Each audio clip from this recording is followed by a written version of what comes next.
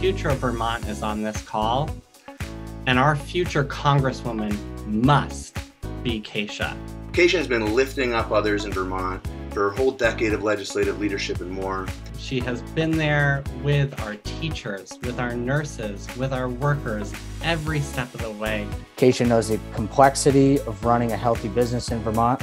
It's not the responsibility to the shareholders that measures success. It's a responsibility to employees and their families through paid family leave and raising the minimum wage. I support her as a parent because I've got two little kids and I know that Kesha is the leader that I want them to see in Vermont as they're growing up. She shows up and she's willing to stand up for what is right. She's an ally to teachers, to state employees, to the trans community, the queer community, the BIPOC community, everyone. She always shows up for the people of Vermont who need representation and a powerful voice for positive change. If the whitest state in the Union can send off a person of color as its sole congressional representative, then it will simultaneously send a profound message about our hopes for the Union and about our faith in its future. When she becomes the first, she is also determined to not be the last. Because she knows that we're in this together, that our fights are in this together, and that we have to do this work together. And as I'm seeing in the chat, I'm not the only one.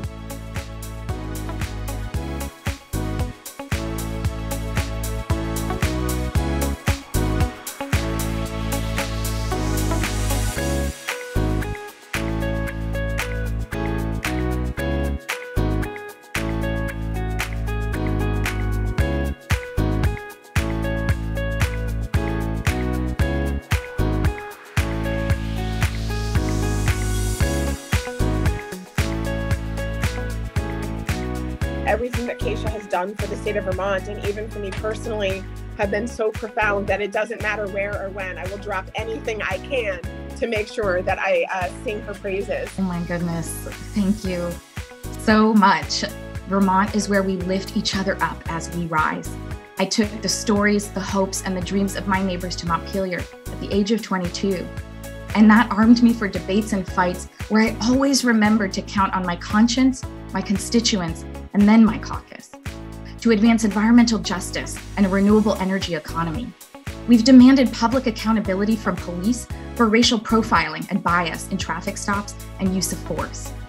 We ensured workers got the pensions that were promised to them, advanced immigrant voting rights, and we're making sure all our children are given a fair shot. I fight uphill battles and I never walk away empty handed. I dream big and I deliver on that promise no matter how hard the fight. And that's what I'll do for you in Washington. I'm running for Congress to be Vermont's fighter for our working families, our democracy, and our climate. Now is the time to dream and deliver. Because if you can dream it, if you're willing to fight for it, all you need is the people behind you to get it done.